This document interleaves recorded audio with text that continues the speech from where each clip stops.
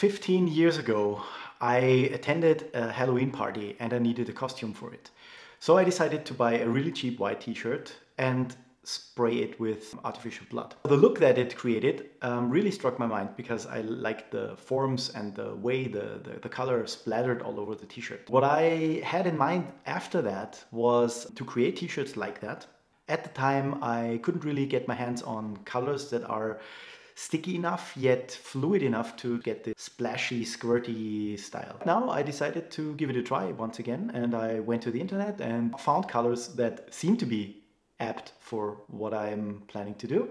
So today I'm gonna give it a chance and try if my little experiment is um, worth it and if it, if it really works. Hope you like my little movie about it.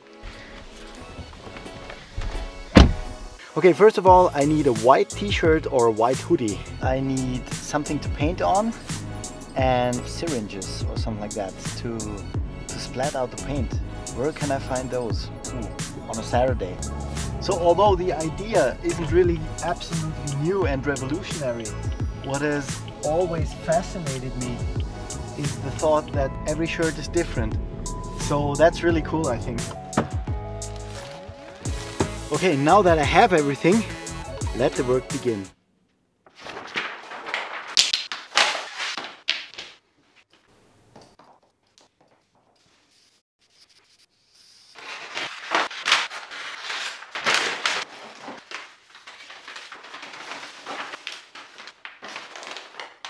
It's absolutely freezing outside.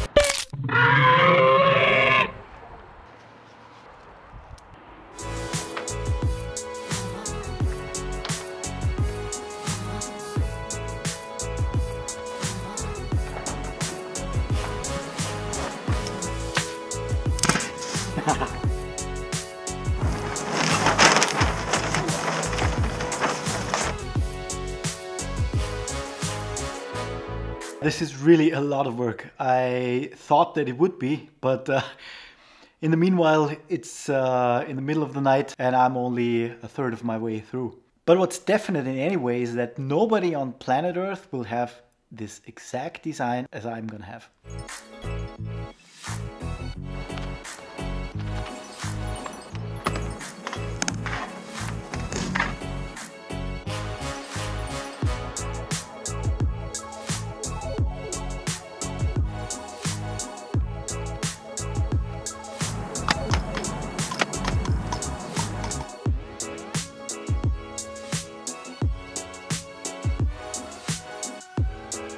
Whew, that was fun. Felt a little bit like in kindergarten. Kindergarten! It was really exhausting. I think uh, took me now, I think four hours. And now the most critical part begins. If anything goes wrong here, I can start all over again.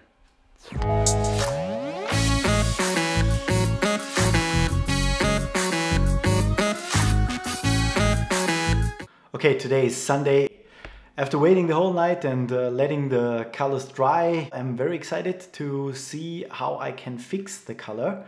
So this will be very crucial to the um, durability of the shirts. So there are basically two ways. You can either iron it or you can put it into the oven. Guess which method I'm gonna try.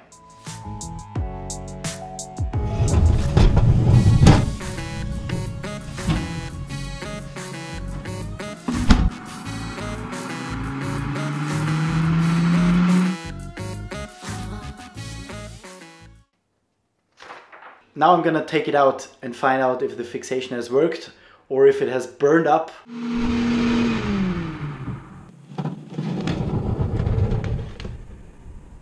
Ta-da!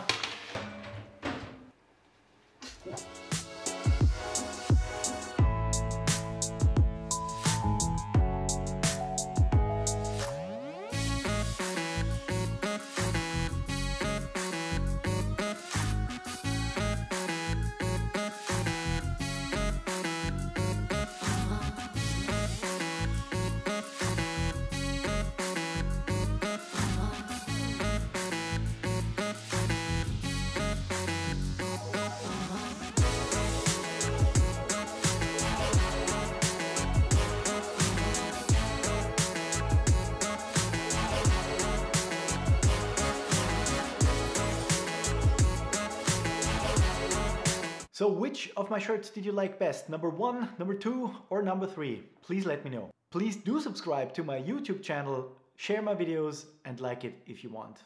Goodbye and see you next time.